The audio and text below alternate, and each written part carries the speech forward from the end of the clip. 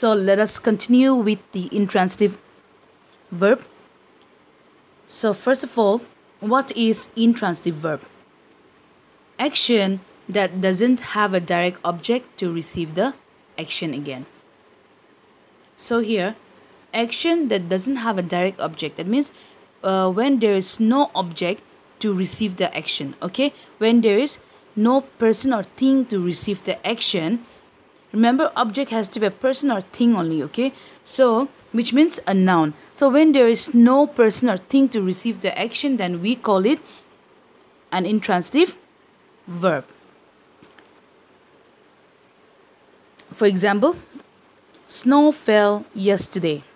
Here, snow is the subject. We know that snow is the subject and fell is the verb. In this sentence, we have the subject and the verb.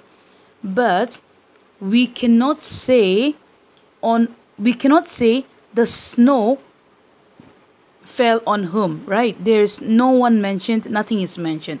The snow it's just uh, it's uh, it, it is just mentioning about the time.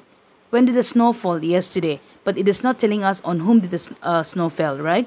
So in other words there is no other uh, no direct object to receive the action. So it is an intransitive verb let us look into more examples having intransitive verb. Some of the examples are here in the first example we failed. Now here also we only have subject and the action that is a verb we failed.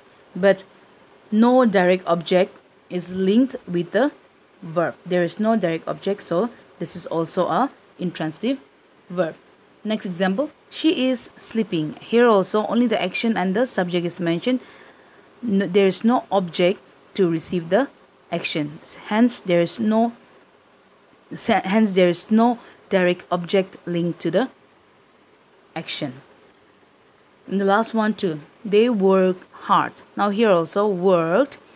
Here we have this uh, verb, but it is just telling us the way how they worked. It is not telling us who or who uh, like it is not telling us the person or the thing that is receiving the action work. Right? Hard is just telling us the way they worked but not telling us who or whom uh, who or, who or what so here this is also an example of intransitive verb so students i think you are clear with this explanation of intransitive and uh, of transitive and intransitive verbs so this is all i have for today at the end of the slide you will see your assignment.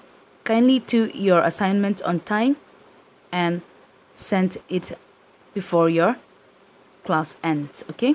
Thank you very much